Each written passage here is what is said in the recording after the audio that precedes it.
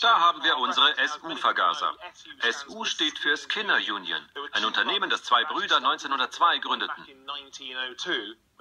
Im Internet kursiert der Witz, dass SU eigentlich von SSU kommt, Sausage Skinners Union, also Wurstpellenvereinigung, und dass der erste SU-Vergaser von einem Fleischwolf abgeleitet wurde.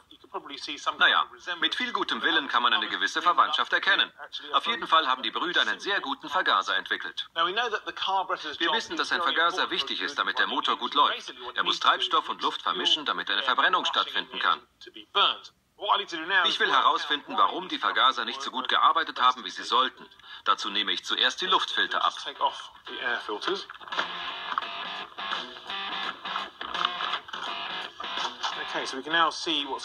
Jetzt kann man besser reinschauen. Was diesen Vergaser so besonders macht, erkennt man an dem Kolben hier unten. Was wir hier haben, ist ein Gleichdruckvergaser. Im Moment käme nur wenig Luft dadurch. Aber die Mechanik sorgt dafür, dass die Luftgeschwindigkeit gleich hoch bleibt. Wenn mehr Luft einströmt, bewegt sich der Kolben nach oben und dabei wird die Öffnung natürlich größer. Mehr Luft dringt ein, aber ihre Geschwindigkeit bleibt gleich. So hat man eine Variable weniger und es ist leichter zu berechnen, wie viel Treibstoff hinzugefügt werden muss. Die Drosselklappe steuert man über den Seilzug am Gaspedal an. Aber der Vergaser übernimmt die komplizierten Rechenaufgaben. Das funktioniert alles rein mechanisch. Sehr clever. Der einzige Nachteil ist, dass das reine Luftvolumen und nicht die Masse gemessen wird. In der Höhe, wo die Luft dünner ist, muss man den Vergaser nachjustieren.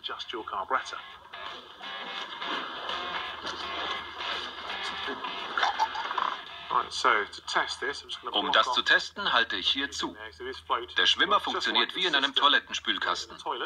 Wenn ich hier reinblase,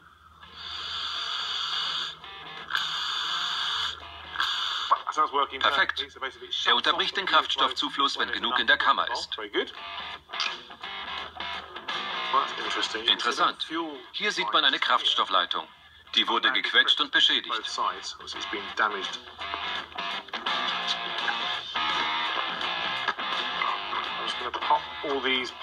Die ganzen Teile lege ich in ein Reinigungsbad und mache sie richtig gut sauber.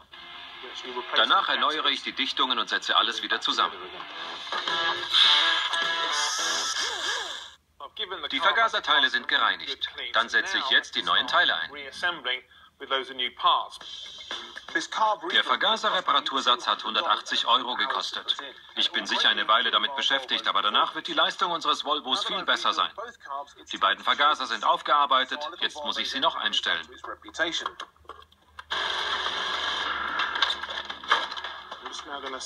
Ich drehe die Leerlaufschraube erst einmal ganz auf, dann wieder andersrum, bis eine kleine Bewegung zu sehen ist. Dann weiß ich, es gibt Kontakt. Jetzt mache ich noch eine Umdrehung. Halb. Ganz. Das gleiche auf der anderen Seite. Das müssen wir natürlich an beiden Vergasern machen.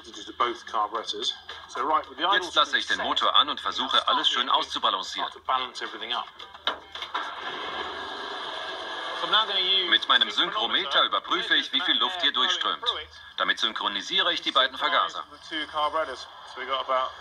Ungefähr zwölf. Auf dieser Seite sind es über 30. Dann drehe ich die Leerlaufschraube hier mal zu, damit der Leerlauf harmonischer ist. Das gefällt ihm nicht. Also drehe ich auf der Seite auf.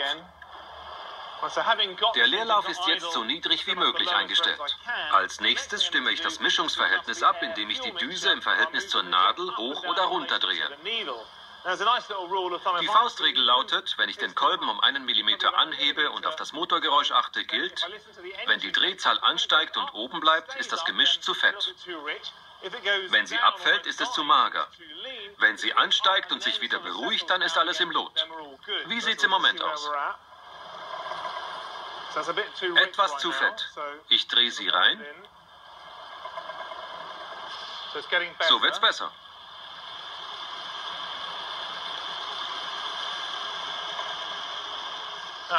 Gehört?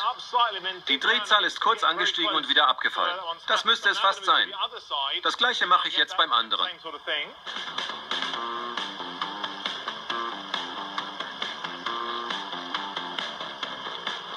Noch eine letzte Anpassung, dann haben wir es. So ist es schön. Damit haben wir zwei wunderbar eingestellte Vergaser.